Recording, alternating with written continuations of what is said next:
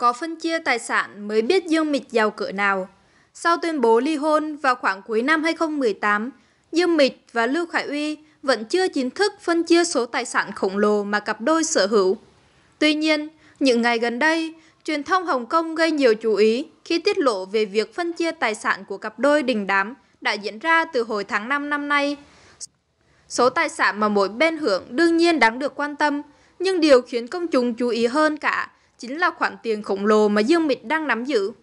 Theo đó, việc phân chia tài sản giữa Dương Mịch và Lưu Khải Uy đã diễn ra trong êm đẹp. Những khu bất động sản ở Hồng Kông chủ yếu thuộc về Lưu Khải Uy như cao ốc Bảo Thành hay căn biệt thự cao cấp Úy Hoàng Cư. Được biết, cao ốc Bảo Thành được Dương Mịch và Lưu Khải Uy chung tiền mua với giá 50 triệu nhân dân tệ, khoảng 167,5 tỷ đồng. Đến nay, khu cao ốc này đã tăng lên tới 80 triệu nhân dân tệ, 268 tỷ đồng và hiện người đứng tên là Lưu Khải Uy. Về phần căn biệt thự cao cấp Úy Hoàng Cư, nơi này được cả hai mua dưới danh nghĩa công ty, nhưng do Dương Mịch đã rời khỏi chức vụ quản lý nên khả năng lớn Lưu Khải Uy sẽ tiếp nhận căn biệt thự này. Đây cũng là bất động sản có giá trị lớn, lên tới 44 triệu nhân dân tệ, khoảng 147 tỷ đồng. Ngoài ra, Lưu Khải Uy còn đầu tư thêm nhiều bất động sản khác và giá trị của nó đã tăng lên hơn 220 triệu nhân dân tệ, 737 tỷ đồng. Mặc dù cho hết, Lưu Khải Uy những bất động sản từng mua chung, song Dương Mịch vẫn nắm trong tay khối tài sản khổng lồ lên tới 4,5 tỷ nhân dân tệ, khoảng 15,1 nghìn tỷ đồng. Lưu Khải Uy cũng không vừa khi nắm trong tay nghìn tỷ nhiều khối tài sản trị giá 500 triệu nhân dân tệ, khoảng 1.673,8 tỷ đồng. Nhưng nếu so với Dương Mịch thì Lưu Khải Y chỉ bằng hạt cát mà thôi, bởi nữ diễn viên xứ Trung có khối tài sản gấp 9 lần chồng cũ. Nhớ đâu, Dương Mịch lại giàu tới vậy. Rõ ràng ai nghe qua số tài sản của Dương Mịch cũng phải hết hồn, nhanh chóng tìm hiểu xem vì vì sao nữ diễn viên lại có thể tích góp được số tài sản lớn đến hàng chục nghìn tỷ đồng như thế. Theo Yifeng, trước khi trở thành cổ đông của gia hành, Dương Mịch đã bước chân vào giới showbiz khá sớm, và dù những năm đó chưa thật sự nổi bật, sau những vai diễn trên phim truyền hình, điện ảnh cũng mang về cho cô số tiền kha khá. Ngoài ra, nó còn gây dựng danh tiếng cho Dương Mịch, giúp nàng quách tương ngày nào trở thành gà cưng của loạt công ty lớn như Vinh Đạt, Hồng Kông Mỹ Á. Sau khoảng thời gian lên như diều gặp gió nhờ cung tỏa Tâm Ngọc, Dương Mịch đã cùng hai người đại diện của mình là Tàng Gia và Triệu Nhược Nghiêu hùn vốn mở gia hành studio.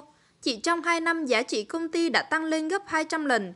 Dương Mịch tất nhiên hưởng lợi từ công ty dù chỉ nắm giữ 7,03% cổ phần.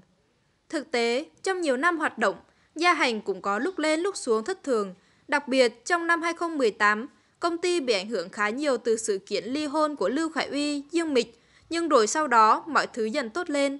Công ty cũng vực dậy và số cổ phần của Dương Mịch nắm giữ đã tương đương với 280 triệu tệ, tức 938 tỷ đồng.